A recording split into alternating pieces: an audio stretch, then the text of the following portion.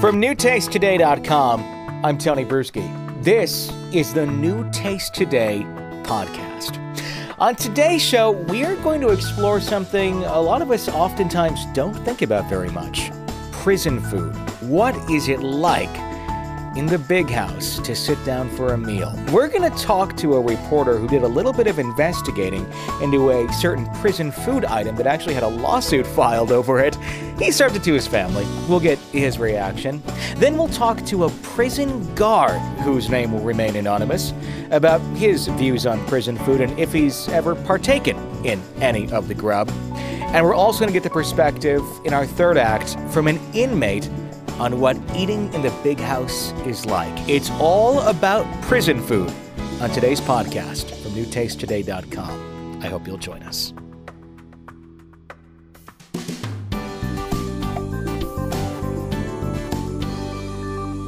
When you think about prison food, what comes to mind? Is it an item described as gruel, as seen in countless movies and TV shows? Well, we all know that movies and TV shows are not exactly direct reflections of reality, but could they be when it comes to the prison cafeteria? Recently, a man in Milwaukee County Jail filed a lawsuit against the manufacturer of a popular menu item called Nutriloaf, claiming that the Nutriloaf made him violently ill. This caught the interest of a reporter from the Milwaukee Journal Sentinel, Jim Stingl, who decided to find out just how bad the Nutriloaf actually is. Jim, welcome. Uh, Hi, Tony. Jim, take us back to you finding out about this lawsuit filed by the prisoner. And let's start there. What actually happened when he filed this lawsuit? Well, you know, he sued and claimed that this uh, Nutriloaf had made him quite ill. That he said that uh, he he claimed that it was rancid.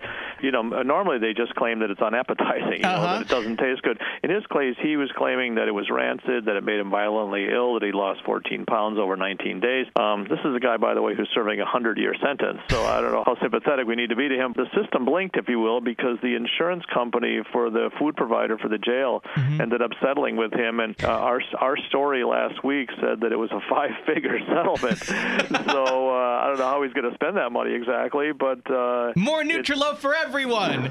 but yeah, this stuff. I, I think you had used the word popular earlier to describe it. It's it's popular with the jails that that like to serve it, but apparently the inmates really hate it. It's something that they often serve with uh, to the troublesome some inmates. It's often served without any kind of silverware or anything. People eat it with their hands. It's yeah, the whole thing is kind of disgusting. And you wanted to find out what it actually tastes like. So what what did you embark on?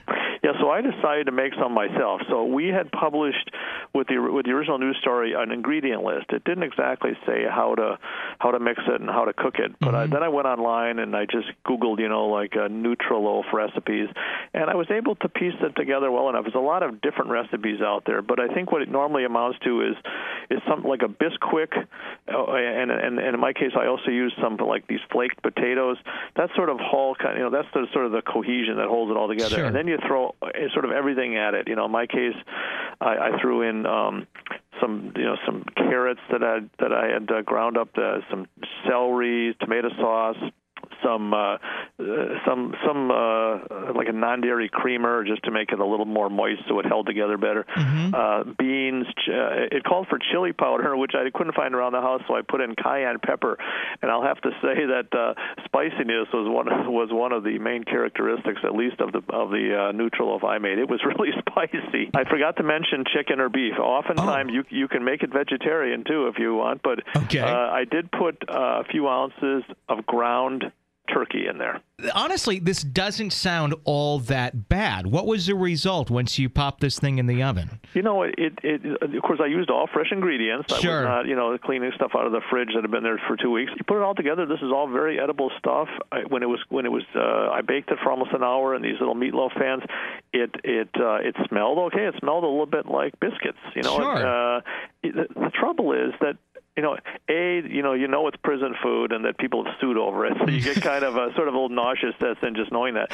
And, and B, it, it it doesn't look very good for some reason. This stuff has a has a sort of unpleasant uh, appearance. I don't know mm-hmm. why that is. It's sort of orangey. Uh, maybe that's from the combination of the tomato sauce and the biscuit. Sure. Uh, so it's sort of orangey with these little bits of green and whatever orange and and you know the beans sticking out of it and stuff. Uh, so I found it to be unappealing, just appearance-wise. But I think if you were to close your eyes and someone were to put a little piece in your mouth, I think you would think, oh, okay, it's food, it's edible, it's not that bad. Mm-hmm. Not worthy you know? of filing a lawsuit over. Well, again, you know, I, you know, you know, you know, I made it. I made it my way because I knew I'd be eating it. I actually sure. tried to get my family to eat it. My wife wouldn't touch it. My daughter and I had a little, and then I brought some to work, and uh, just sent out a message to the newsroom. And you know, how, you know how it worked. People will eat anything, you know, and uh, people started coming over to my desk, and this was you know middle of the afternoon, so people were hungry, and people started eating it. Uh, one or two wanted to microwave it, and the rest just uh, ate it cold and uh, with their fingers. Mm-hmm. you know, so, what was the consensus around the office? You know, a couple of a couple of the uh, again uh, my, my coworkers thought that it was pretty good.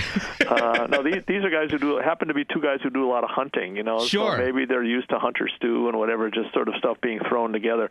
Uh, but I, I, you know, nobody thought that the taste was terrible. I would think, but there were a lot of people who turned up their nose just at the appearance of it, and just and maybe also just at the name of it, you know, Nutriloaf. Yeah. Maybe it's the word loaf there or something. And Nutra sounds like it's trying to, like they're trying to claim it's good for you, you mm-hmm. know. And uh, I did after the my column ran about this. I did hear from somebody who used to work at the jail, and she said, you know, it sounds like you you made it pretty well, but what she says we used to really throw everything in there, you know, whatever we had around, and you know, so you kind of, and I don't know, I mean, how they would deal with like, you know, like allergies and things like that. Sure. I mean, how would you even know? I mean, there's so much stuff that they toss into this stuff and it's just like you know, it's just like the devil's meatloaf, as I called it in the column. So you made like the Bobby Flay version of Nutriloaf. I did. I did. I did it. It was yeah, that's right. It, it, it was it was more upscale. After the lawsuit, is the jail still serving Nutriloaf?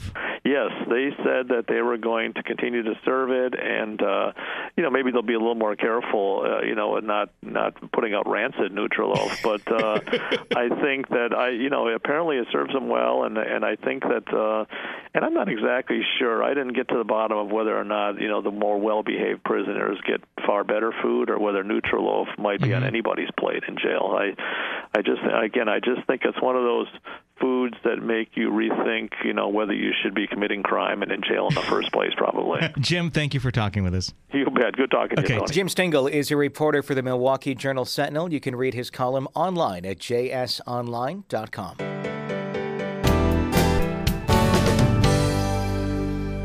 I don't know about your workplace, but when there's food somewhere, everyone tends to hover over it and consume it almost no matter what it is. Is that the same in a prison setting? Are the guards also eating the prison food just because it's there? We decided to do a little bit of investigating and actually talk to a prison guard whose name and location will remain anonymous to find out the answer to that question and get some insight into what else is served in our prison system in the United States. Mystery prison guard man, let's start out by, in your own words, describing to us what prison food is like. Unique. Unique. Now, I need you to expand on that a little bit for us. um, and by unique, I mean pretty much uh, disturbing. Confidential would be a, an interesting word.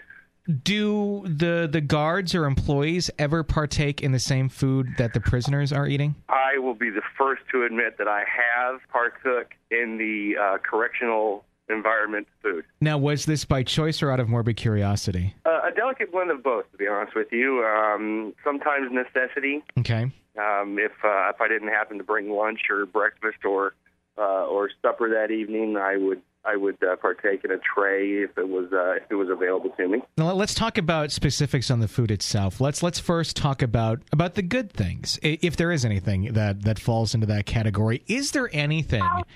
That falls into the category of, hey, the prisoners really look forward to this specific item when it's offered. Oh boy, I would have to say uh, the chicken patty whenever it comes. And now there's two different kinds. There's a chicken patty and a spicy chicken patty. It's almost like uh, they get their own choice, like they would at a restaurant. Does it resemble chicken?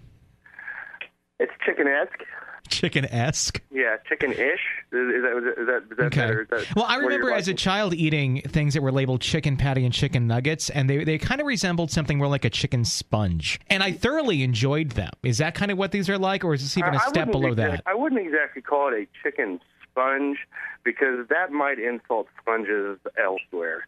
Um, it's it's let's just say out of all the chicken patties I've eaten there, and there have been let's just say a few, and by a few I mean probably close to six or seven. Um, let's just say that maybe twice it has resembled an actual poultry item. Is that in terms of looks or taste? Yes. yes. That means yes to both. yes. are they breaded? Are they like grilled or what? They what? they are breaded. Okay, so it, it kind of is one of those mystery deep fried items. Yes. What other items are offered in the prison system that that prisoners look at as I don't know edible? Uh, the sliced bread. Okay, that's. I mean, that's got to be kind of hard to screw up, doesn't it? Yes, yes, it, it is. It is. Believe it or not, the, the sliced bread is usually something everybody looks forward to. Now, how about the items that that are are not very popular? Um, that's pretty much just about everything else that they serve. Bologna, believe it or not, is a staple of almost every meal. Okay. There's usually uh, odd mixtures of uh, like one day they served taco meat with a side of pineapple, and the vegetable they served with it was uh, carrot sticks. That doesn't sound like it would be that bad. I mean, it sounds like something that probably could be put together for a very low cost, and probably yeah. you know would resemble what what you would think you know a a cheap taco would would look like. Is that something yeah. that they enjoy, or is that one of those where they really it, it's it's so destroyed that it's it's not an edible item? Oh, it's so bastardized. It it just it looks completely. You know, they get it, and most of them will groan. Most of them will complain. How is it? I mean, Uh, like, what does the jail taco look like that it's it's so uh, un, In- unappealing? Imagine, if you will, you know those separated plates that you get at those wonderful Thanksgiving dinners when you go to like your grandparents' house. Sure. And instead of having one plate where everything just melts together, you have your segregated items, Yeah. you know, on a plate. Well, imagine the biggest section on the tray being filled with something that looks like what could be com- what could be compared to how do I say this? um, something that might, you know, come out of you after a bad hospital stay Oh, with a kind of salsa that looks vaguely like, oh, blood. so that's the taco meat and the salsa. Yes, yeah. Oh, I think you're supposed to put that into. Do they have a tortilla shell? Um, sometimes they come with a tortilla shell that's been cut in half and served with. Uh, to say that this cheese is dried and aged would be a compliment. The the cheese that they serve it with, it looks like well, I don't know. I, I would compare it to styrofoam. It's probably not cheese then. Yeah, well, it's it's the cheapest version of cheese. I've actually I've actually had it. I've actually tried it. It does have a little bit of a of a cheese feel to it, but it's like the cheapest cheese you can find. Are any of these items? Have you ever come across them in uh, like a grocery store or being available to the general public, or is this like its own ecosystem of food that only lives within uh, within the prison systems? It's kind of like well, I would have to say that you could probably find any of this stuff in a store. Mm-hmm. You could find, you know, the the cheapest cheese and that there is. You could find that in a store. But even even the cheapest cheese in a store, it sounds like what, what's in the jails are, are much worse than even the cheapest cheese in the store. Well, it's it's all. One thing you have to keep in mind is when you're feeding a massive amount of people, Mm-hmm. and you know, whereas where I work, we we feed you know close to 1,500 people a day, Mm-hmm. uh, and that's you know all three meals. It's all about your cost. Sure. So it's you know whatever is cost effective. The least amount of money, the most you can get. Is there ever a day like do holidays have special food or anything like that? Yes, yes. Occasionally, uh, they have uh, for lunch on Thanksgiving. They have served uh, turkey and stuffing uh, and dress and with uh, with gravy and a and a, like a roll and mashed potatoes and, and corn. And it's actually comparable to what you would get say in a high school cafeteria. Really? So that must be a big day then. It is. It is. And the, then you also put the fact that the good food, it's a jail type environment.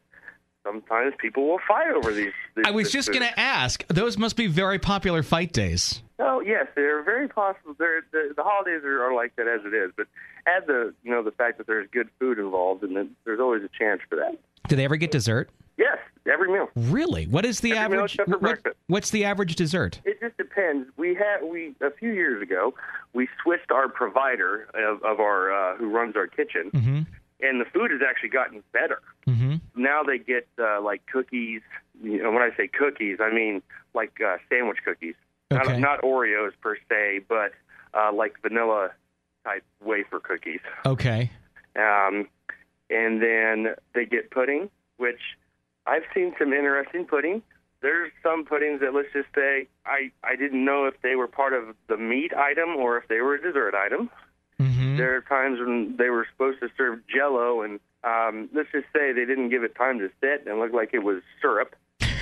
So Do that they- happened. Are they allowed to trade food at all, like in a high school cafeteria? Or It is is technically it is against the rules to do so, okay? but it, it happens. It's done. very widespread. Oh yes. Okay. people and that that's that's generally the cause for most of your fights Mhm. is people will gamble their food trays. Well, thank you for enlightening us from a guard's perspective on what the food is like in, in the prison yeah, system. we didn't even touch on breakfast food. we don't want to make everyone sick. Yeah. Oh, the, let, let me just say, in most places, one can distinguish between grits and oatmeal and biscuits and gravy. Not in prison. No, Thank you for talking with us, Mystery Man. anytime, sir.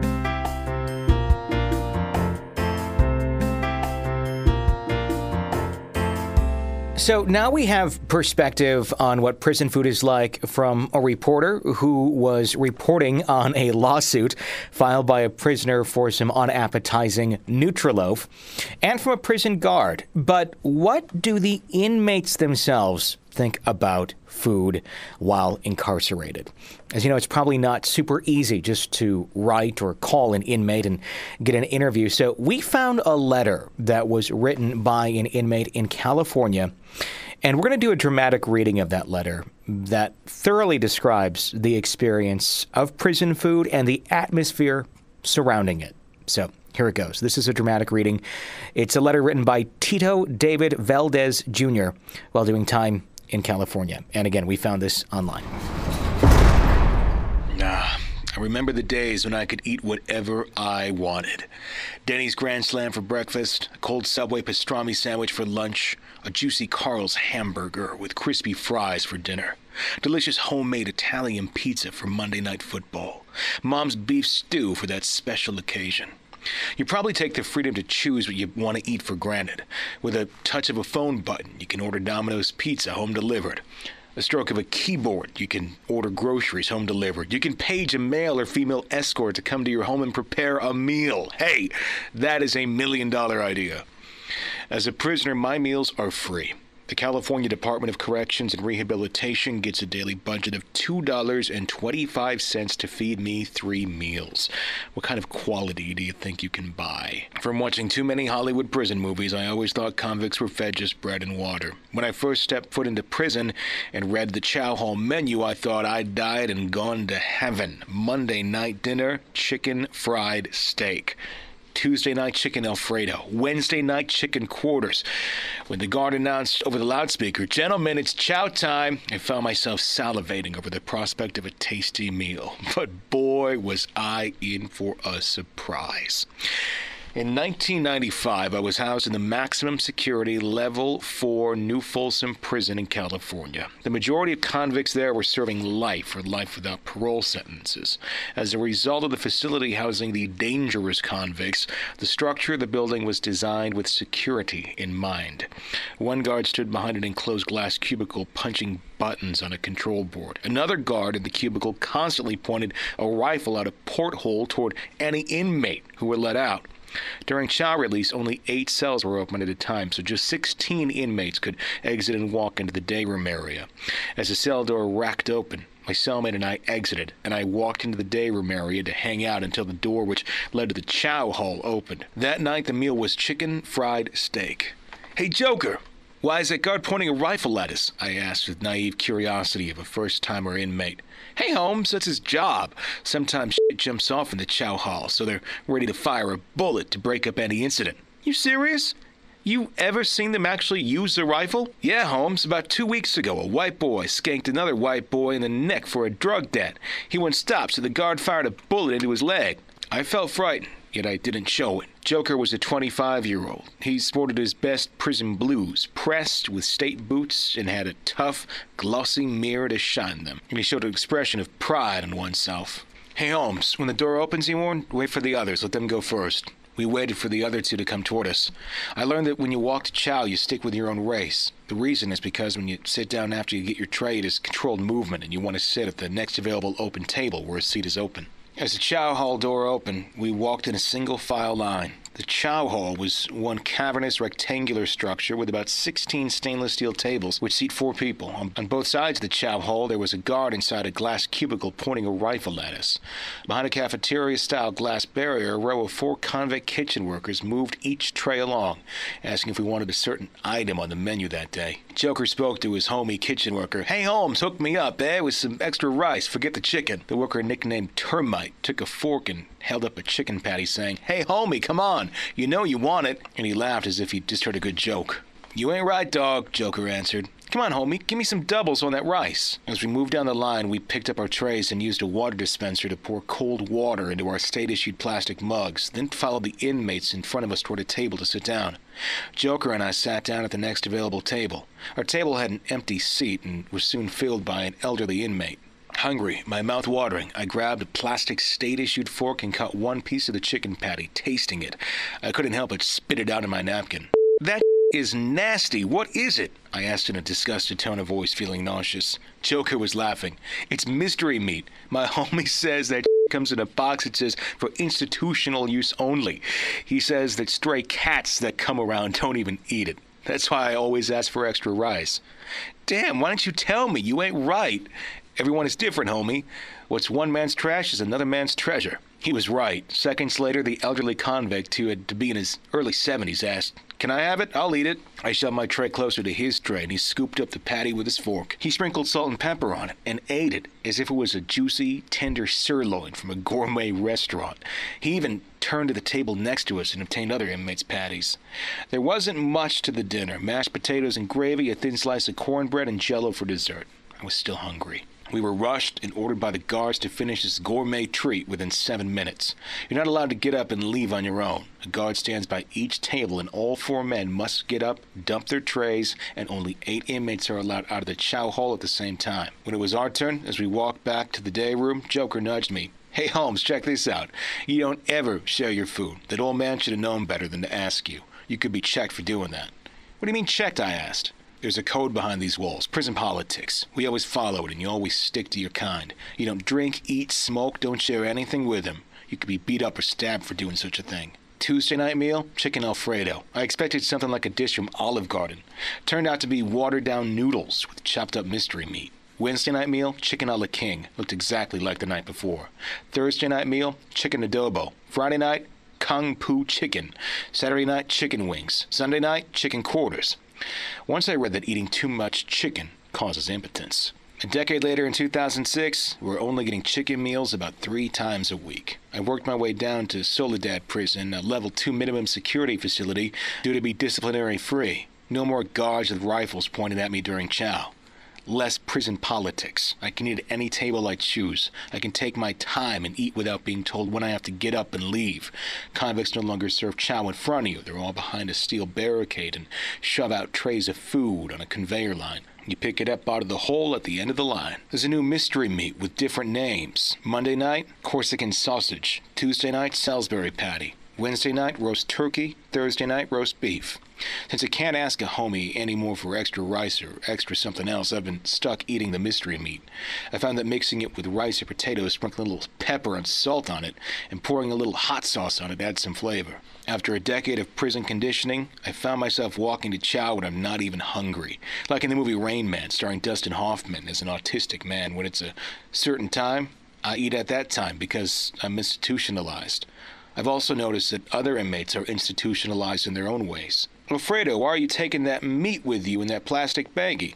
I'm going to go mix it with the top ramen soup, he replied with the pride a master chef takes in his work. I turned to another inmate. Ricardo, why do you buy all that extra state issued meat from the kitchen worker after he gets off his shift? I'm going to make burritos with it, homie. As I went to dump my tray contents into the trash, a white inmate, a veteran lifer, scoops up my meat and the meat off other trays. Hey Bruce, why do you eat that garbage off people's trays? After 25 years in the cage, it all tastes the same. I never go to sleep hungry. I'll put some of this meat between slices of bread for today's lunch. I'll tell you a story. When I was free, I was homeless. The best food you could find was in a Taco Bell trash bin around midnight. Over the years, due to budget constraints, the quality of food provided by the CDCR to inmates has gotten worse. We used to get three hot meals a day. Today we get two hot meals and a sack lunch. The lunch contains a mystery meat which stinks. Not even the cats and seagulls will eat it, and they normally eat anything.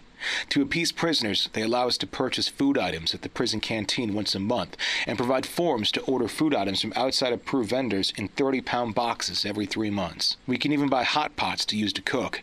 From a crafty inmate, you can even obtain a hot plate to fry food in. Ordering food from vendors or at the prison canteen has become big business.